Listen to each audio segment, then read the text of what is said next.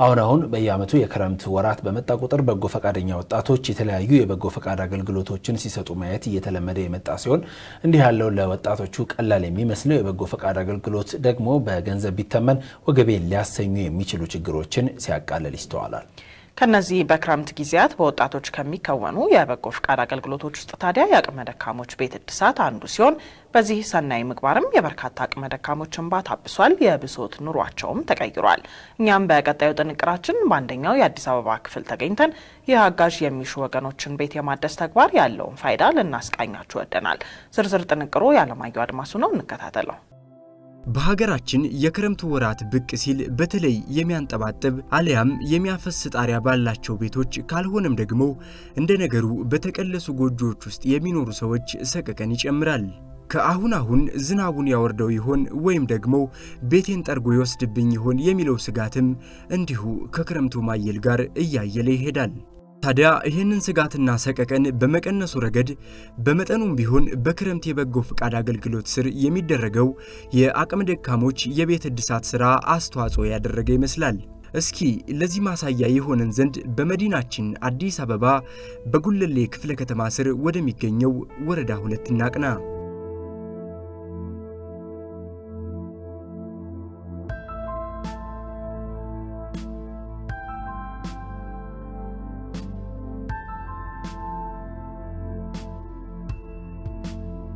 እኔ ግን እንደ ሞትኩ ነው መቆ እነሱ እናንተ እንጀራ ይውጣላችሁ እናንተ ባታመሰግኑ ይኖሮ የት ደርስ ነበር?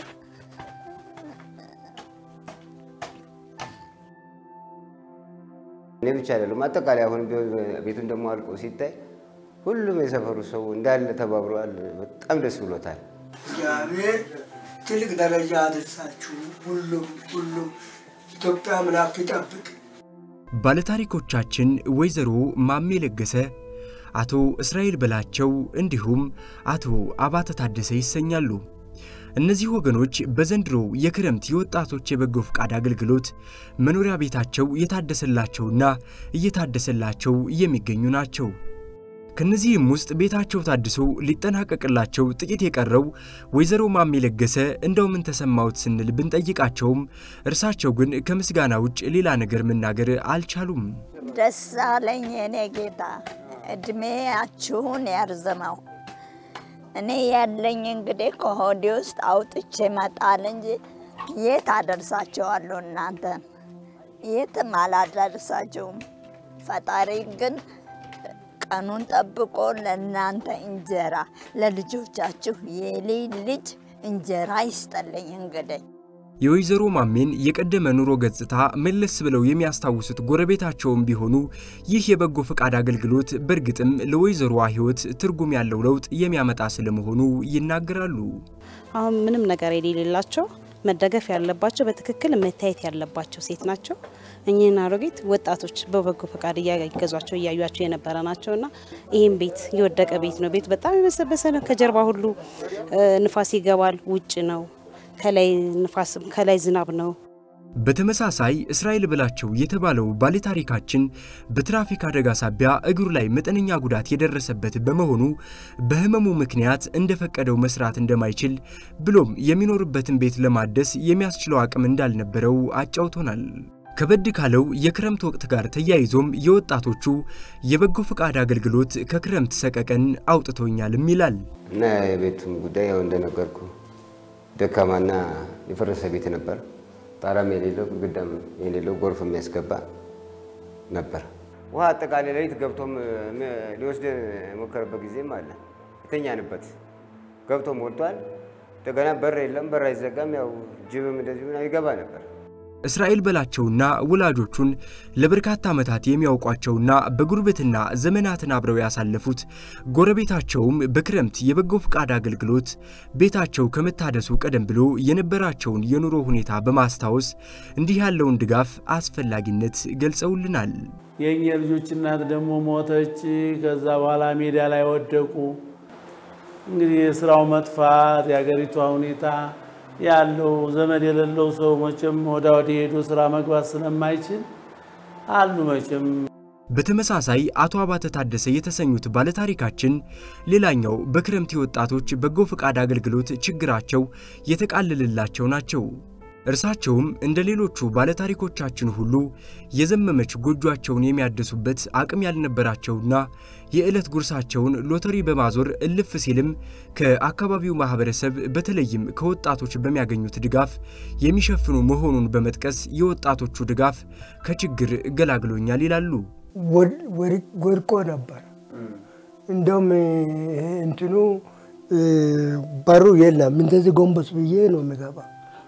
በጣም እንደው ላይ ዝናብ ደግሞ የዘነባ ነበር። አልታኛም ነበር። ዝም ብዬ በቃ ላስኬት ምናምን አድርጌ እዚያ ላስኬት ላይ ነው ቁጭ የምለው። ወድቆ ነበር። ልጆቹ እግዚአብሔር ይስጣችሁ፣ እዚህ ያለው ወጣቶች በጣም እግዚአብሔር ይስጣችሁ። በጣም በጣም የሚያመሰግናችሁ የዚህ መንደር ወጣቶች እንደሚሉት እንዲህ ያለው የበጎ ፍቃድ ተግባር ለመጀመር መነሻ የሆናቸው የኮሮና ቫይረስ መከሰት ሲሆን በክረምቱ ከሚያከናውኑት የበጎ ፍቃድ ስራ ባሻገር በበጋ ወራትም ቢሆን በተለያዩ የበጎ ፍቃድ ተግባራት ላይ እንሰማራለን ብለውናል። ለዚህ መሰሉ የበጎ ፍቃድ አገልግሎት የሚረዳቸውን ገቢ ለማግኘትም የበርካቶችን ቤት እንደሚያንኳኩና ደጅ እንደሚጠኑም አልሸሸጉም። በወጣትነት ዘመናችን የራሳችንን የሆነ አንድ የሚታይ አሻራ ለማኖር ነው። ከዛም በመንግስት የወረደ የራሱን የቻለ አቅጣጫ አለ እንደ በጎ ፍቃድ ያንን መነሻ አድርገን ከጓደኞቻችን ጋር እኛስ በራሳችን ምናርግ በማለት በአካባቢያችን የሚገኙ አንድ አቅመ ደካማ እናትን ቤት ለማደስ ወስነን እሱን በመስራት ላይ ነው የምንገኘው። በዋነኝነት እዚሁ አካባቢ ያሉ ነዋሪዎች አሉ። በአጠገባችንም የሚገኝ ቴክኒክና ሙያ ትምህርት ተቋም አለ ተፈሪ መኮንን። የዛም አስተዳደሮች ድጋፍ ያደርጉልናል። እንዲሁም የወረዳው አስተዳደር አካባቢ ላይ ባለሀብቶችን በማስተባበር እነሱ እኛ አጋይ እንደሆንን በመግለጽ የገንዘብ ሶርሱ እንድናገኝ ይረዱናል። ለወጣቶቹ ድጋፍ ከሚያደርጉት አካላት መካከል አንዱ የሆነው የጉልሌ ክፍለ ከተማ ወረዳ ሁለት የወጣቶችና የበጎ ፍቃድ ስራ ማስተባበሪያ ጽሕፈት ቤት በበኩሉ ወጣቶቹ የበጎ ፍቃድ ስራቸውን እንዲያከናውኑ ብሎም አጠናክረው እንዲገፉበት እደግፋለሁ ያለ ሲሆን በየዓመቱ የበጎ ፍቃድ ስራው ተጠናክሮ እንዲቀጥልም ጥረት እያደረግኩ ነው ብሏል። አጠቃላይ ከስራዎቻችን አንጻር የክረምትና የበጋ በጎ ፍቃድ የሚባሉ ተግባራቶች አሉ። ከነዛም ተግባራቶች መሀል አንደኛውና በዋናነት የሚጠቀሰው የቤት የአቅመ ደካማ ቤት እድሳቶችን ነው።